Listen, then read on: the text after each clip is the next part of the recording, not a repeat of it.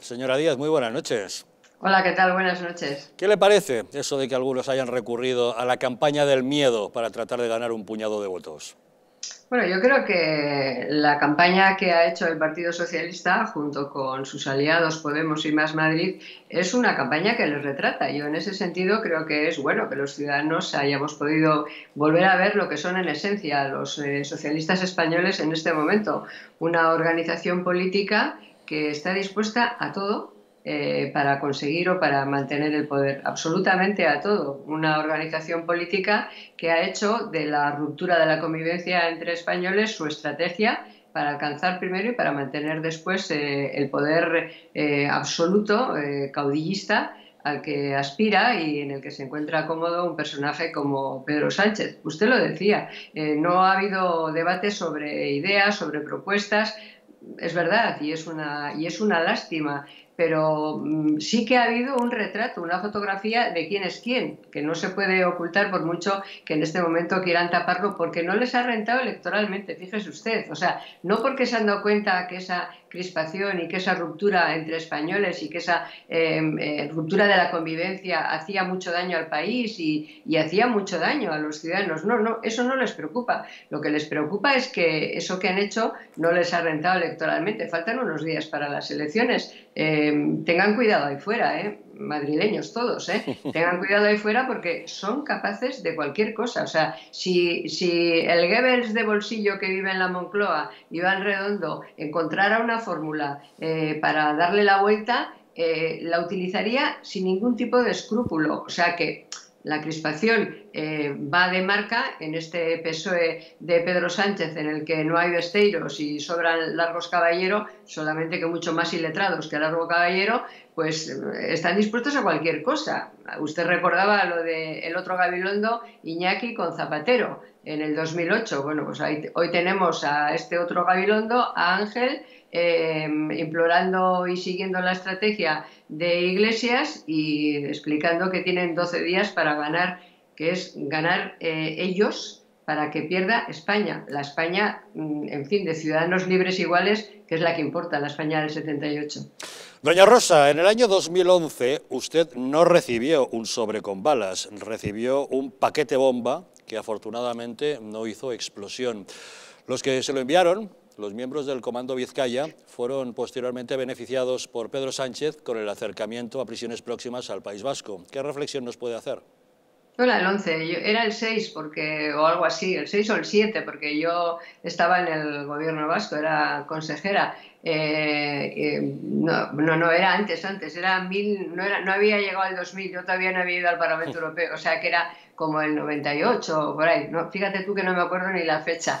Eh, sí, me mandaron un paquete de bomba que abrió mi marido y que afortunadamente el, dispositivo estaba mal puesto y no, no funcionó, afortunadamente. Pero, pero, a ver, a mí, lo, en fin, no, no hace falta que, que digamos que que reprobamos no solamente la violencia, sino la amenaza de violencia. Eh, pero a la vez que reprobamos eso, yo repruebo el circo, eh, la banalización del mal, eh, banalizar el dolor, banalizar lo que de verdad, en fin, ha sido un, suplicio y una desgracia para toda la democracia española, ¿no? que, que esta gente eh, haya banalizado de tal manera eh, las amenazas, eh, que, se consideren a sí mismos, que se llaman Sánchez y toda su patolea, a sí mismos progresistas, es, es un insulto a los verdaderos progresistas que fueron asesinados por defender la libertad y la democracia. ¿no? Entonces, esta, esta banalidad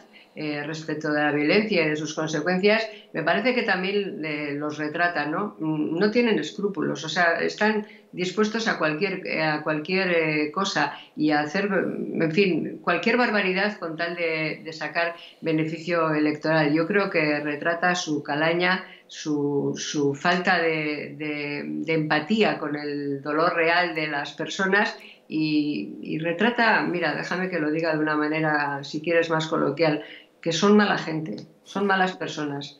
Y yo creo que con las malas personas no se puede ir muy lejos. Pero ya que hablamos de reprobar la violencia, vamos a recordar las palabras de Pablo Iglesias cuando él justificaba las actuaciones de ETA diciendo que estaban eh, justificadas porque tenían explicaciones políticas. Estas eran sus palabras. Si hablara de ETA, diría que el terrorismo ha producido un enorme dolor en, en nuestro país. Eso es indudable. Pero también diría que tiene explicaciones políticas. Sin embargo, ahora, cuando es él el que ha recibido un sobre amenazante, ha cambiado radicalmente de discurso. Esto dice. Ante una amenaza terrorista, si hay una fuerza política que, que, la pone en duda, es una prueba más de que están fuera de los marcos constitucionales y democráticos y el blanqueamiento mediático del que han sido objeto durante mucho tiempo hay que, hay que parar. Señora Díez, ¿ante qué estamos? ¿Ante doble rasero o simplemente ante hipocresía? No, es, es, es, pura hipocresía, ¿no? Es, es, gentuza. Quiero decir, no, no es, que, no es que hayan evolucionado y la violencia que no condenaban antes la condenan ahora, no, es que hoy mismo le he oído a Pablo Iglesias eh, justificar, bueno, calificar de aspiración democrática el golpe de Estado que dieron en Cataluña, hoy mismo, en, en una comparecencia pública. Es que mmm, ellos, su modelo democrático es el de las dictaduras. Su modelo democrático es el comunista, recientemente reprobado en el Parlamento Europeo por considerarlo eh, la ideología comunista pues autora de crímenes de lesa humanidad. Eh, su modelo de democracia es ese, ese, Venezuela, Irán, ese es el modelo de democracia y los golpes de Estado es su aspiración democrática. Entonces no es una cuestión de, doble rasero, ni siquiera, eso es, menor. Es que, es que mmm, eh, les gusta la violencia cuando la practican ellos o cuando la practican contra sus adversarios políticos a los que ellos convierten siempre en enemigos. Eh, esa es la, la, la, la, verdad y, ese, y el drama es que no es un pequeño partido político, que sería dramático en sí mismo, ¿no? sino que es un partido político que está en el gobierno de España porque Pedro Sánchez, secretario general del Partido Socialista Obrero Español, los ha elegido como socios. Porque para transitar desde el Estado de Derecho al modelo totalitario y caudillista que a Sánchez le gusta, necesita socios que sean enemigos jurados de la democracia, de la democracia europea, de la democracia real, de la democracia con mayúsculas. O sea, ese es el drama, que el presidente del gobierno de España busca a estos socios, a ellos, a los de Podemos, a los de Más Madrid, que no les ha metido en el gobierno porque no llegaron en su momento, pero que defienden exactamente el mismo, la misma posición política, a los proetarras, a los golpistas. Ese es el drama. Eh, ese, es, ese es el drama verdaderamente que, mm, insisto, en esta campaña se ha desvelado tal cual era porque lo que han hecho en esta campaña el Partido Socialista, eh, eh, algunos dicen al hacer seguidismo de Podemos, no, es que se encuentra cómodo. Sánchez se encuentra cómodo llamándonos fascistas a todos los que no somos de su secta.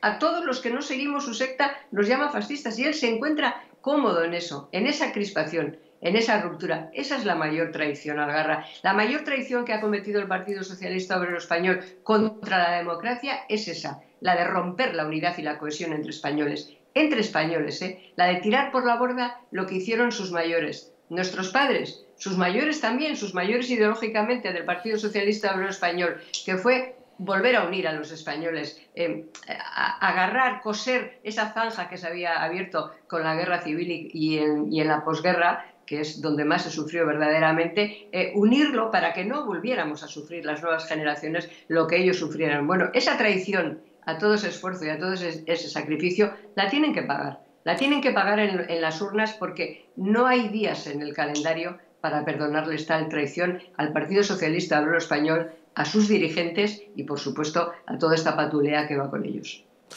Hoy en el Liberal, usted misma en un artículo señala a este gobierno que se apoya en separatistas y radicales y aboga por una nación de ciudadanos libres e iguales. ¿Tan difícil es conseguir eso? No, es lo que la Constitución eh, define y ampara y es eh, aquello por lo que más de 857 españoles de bien eh, perdieron la vida por defender ese modelo.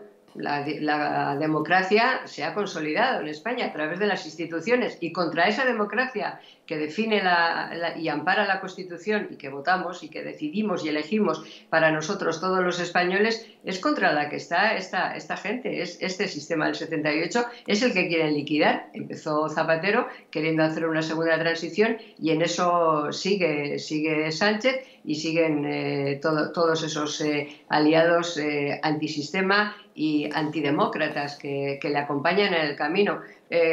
a ver, dice usted tan difíciles. A ver, defender la democracia nunca es fácil. lo que pasa es que en España, como no ha habido pedagogía democrática, eh, como no nos han educado en valores democráticos, como no se ha hecho pedagogía, hemos construido las instituciones, las hemos constituido, hemos hecho las leyes, nos hemos integrado en Europa, pero no, no ha habido pedagogía democrática, ¿no? Y entonces, pues, en fin, los ciudadanos, muchos ciudadanos que han nacido en democracia y se han hecho mayores de, han conseguido su mayoría de edad en democracia, creen que la democracia es una cosa que llega y ya está, no hay que hacer más con ella. No, no, la democracia hay que cuidarla hay que, hay que eh, cuidarla de forma permanente, hay que trabajar por ella. Las instituciones no se defienden solas, hay que defenderlas. Y eso es una tarea de los partidos políticos con representación institucional, por supuesto, de los demás también, pero también es una tarea de todos los ciudadanos. Hay que estar alertas, hay que, hay que estar, eh, en fin, hay que tener conciencia de que esto, este modelo, eh, en fin, que, en el que disfrutamos y en el que somos ciudadanos, tenemos que defenderlo todos y cada día. Doña Rosa Díez, muchísimas gracias como siempre por acompañarnos en Los Intocables. Encantada. Un saludo. Don Mario.